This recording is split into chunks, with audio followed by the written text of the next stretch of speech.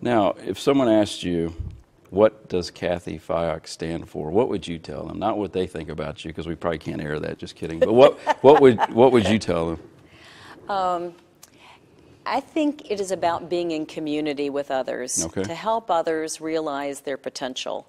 And whether that's by helping folks write a book, uh, by helping folks find the right career path. Um, I, I've done a lot of work in my HR life in, in finding the right role for people to play Okay. or people as they're going through job transition. I've done a lot of work with folks uh, who are uh, out of work and don't know quite what's next Mm-hmm. and helping people figure that out. Uh, I love to help people Okay. get really excited and energized about the work that they're doing. You had mentioned to me, and I'll, I'll let you define it a little better or, or scope it out. A mission that you have. Mm-hmm. If you could expound on that for the audience. It's funny. Um, I was uh, in preparation Sure. for this time together. I was thinking back into to what had inspired me in, in the past, Mm-hmm. and I was thinking about a presentation that I attended. Uh, George Morrisey gave the presentation.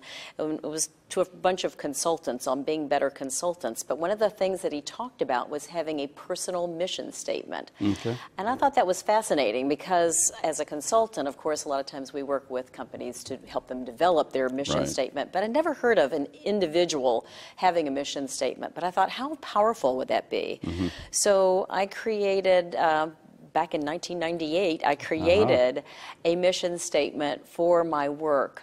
Okay. And that's been really powerful Okay. in guiding me and helping me know what to say yes to and what to say no to. Can you rattle it off? No, audience? no, I can't. No, that's why I have it written down well, that's all right. That's all right.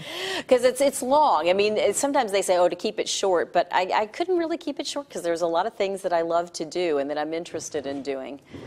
Uh, but Go yeah, for it. okay, okay, great. But I had to read your bio. You get to read okay, your mission okay, statement. good, good. Um, to champion the value of human potential as we grow older. Okay. And the need for work consistent with one's purpose. Okay. And to do that through my books, through my speaking, through the way in which I live my life. So that's sort of the, the Sure. cornerstone. But to help others write their books, documenting the purpose of their lives. That's the one I just added yesterday because All I was thinking I needed to update this. To celebrate and praise God through music.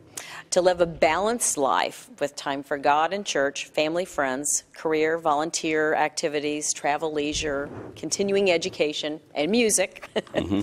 to provide leadership to the human resources profession. To profitably run my own business consistent with my values of work in balance and work with purpose. And to live in service to others. That's great. So very that's it, positive. yeah. That's cool. That's cool.